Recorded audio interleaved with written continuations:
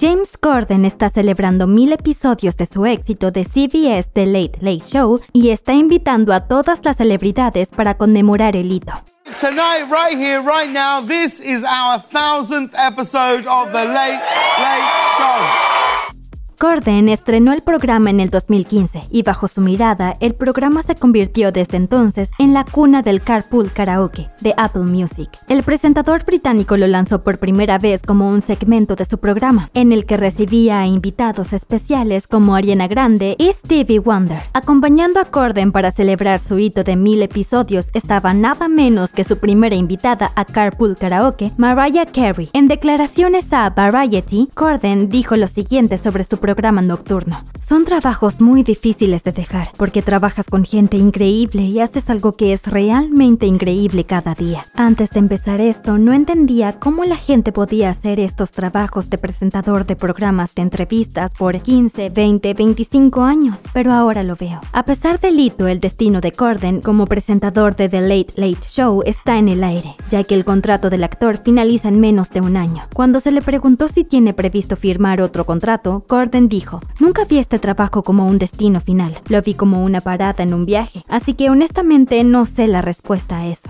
Por desgracia para Corden, se dice que el presentador del programa de entrevistas podría no llegar a tomar esa decisión final por sí mismo. Según un informe de Daily Mail, los rumores apuntan a que James Corden podría quedarse sin trabajo o sin empresa, más bien. La productora del presentador de televisión, Falwell 73 Productions LLP, está a punto de disolverse. Esto podría causar grandes problemas para Corden, ya que la empresa está detrás de su exitoso programa de entrevistas, The Late Late Show en CBS. La productora fue creada en el 2005 por Ben Winston, Ben y Gabriel Turner y Leo Perlman. Según Daily Mail, el fin de la productora podría significar también el fin de la implicación de Corden con sus socios allí. La relación de James Corden y Ben Winston comenzó en el 2003. La exitosa asociación de producción de la pareja les reportó millones de dólares y un currículum impresionante. Entre los proyectos que produjeron se encuentran especiales puntuales como la reunión de Friends y la entrevista de Adele con Oprah Winfrey. Falwell 73 también firmó un acuerdo con Nickelodeon a mediados del 2020 para crear programas para niños. No es la primera vez que James Corden destaca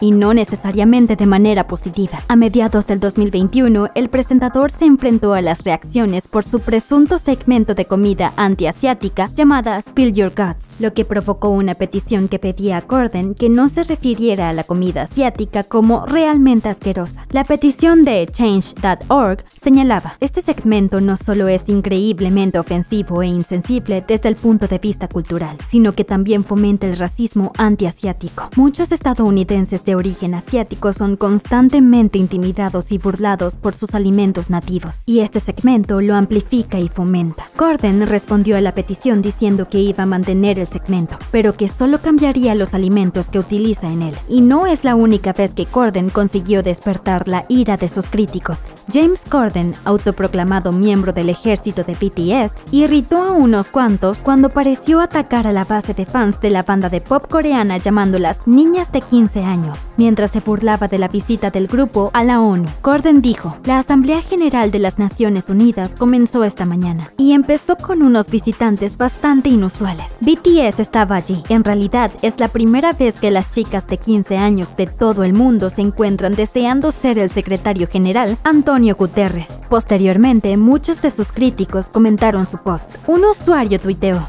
bueno, a la lista negra va. Mientras tanto, otro usuario escribió, James Corden es el que no debería ser tomado en serio. Dicho todo esto, parece que Corden podría beneficiarse de un tiempo alejado de los focos, tanto si es su decisión alejarse como si no.